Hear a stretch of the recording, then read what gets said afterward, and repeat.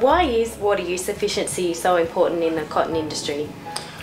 Water use efficiency is critical in the cotton industry because water is really one of the most limiting resources that we've got and so we've got to maximise the return per drop of water. So we, all the time we're focusing on getting more crop per drop and uh, oftentimes you'll hear growers talk about the return per megalitre they get because they recognise the importance of that water resource and, uh, and everything we do is about maximising um, the profitability from the water.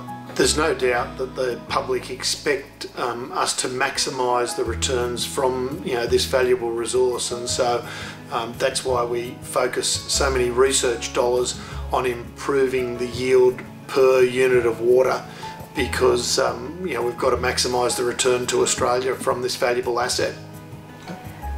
What is the cotton industry doing in terms of water use efficiency?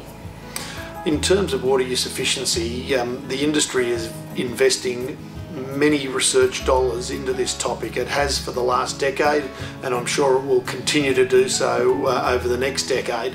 Um, those investments in research uh, focus at a, at a, number of levels. There's um, uh, investments around uh, reducing evaporation and losses at, um, you know, in delivering the um, water to the field. And then there's um, work on things like scheduling and, um, you know, timing of irrigations to ensure that, um, you know, we don't overwater the crop and, and create waterlogging, which is also a problem. So, um, yeah, big research investments in a number of areas that can improve water use efficiency.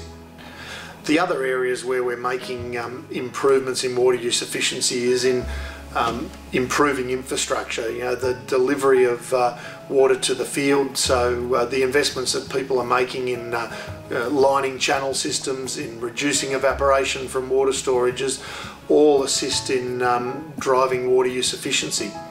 Um, as an industry, we've had a, um, you know, our third environmental assessment. Um, from that there's been a sustainability report developed and that has some key benchmarks and indicators that help us set some targets for the future in keeping driving water use efficiency in the industry. What kind of efficiency gains is the cotton industry hoping to achieve? Look, we set ourselves a very bold, ambitious target um, a number of years ago of trying to double water use efficiency and, and I'm pleased to report in the last decade, we can clearly document a 40% improvement in water use efficiency. So maybe not a doubling, but certainly um, you know a massive improvement. And uh, I think the industry can be proud that um, it set itself a bold, ambitious target we didn't quite get there, but we should be very proud of the, that 40% improvement. That's a, a massive improvement in water use efficiency and is really a testament to the research and development effort funded by growers and government and also growers willing to adopt research quickly. What do you think are the industry's greatest challenges in terms of water use efficiency? I think it's getting um, you know the adoption of some of the research. You know there are so many different facets of research um, that could be adopted to drive water use efficiency.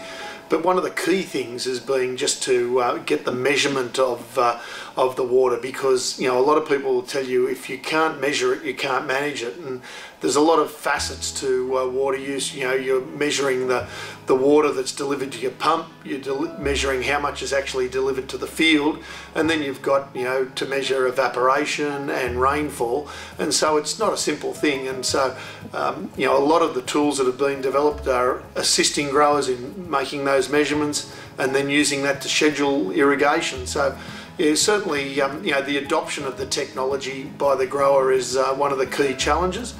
Um, and I also think one of the challenges is um, knowing which pieces of infrastructure growers should um, uh, invest in because you know some of the newer irrigation technologies, you know overhead irrigation, that is quite a big capital outlay as is drip irrigation and so growers need to have good information to make the decisions about which uh, irrigation infrastructure is going to give them a benefit and pay off for them in the longer term.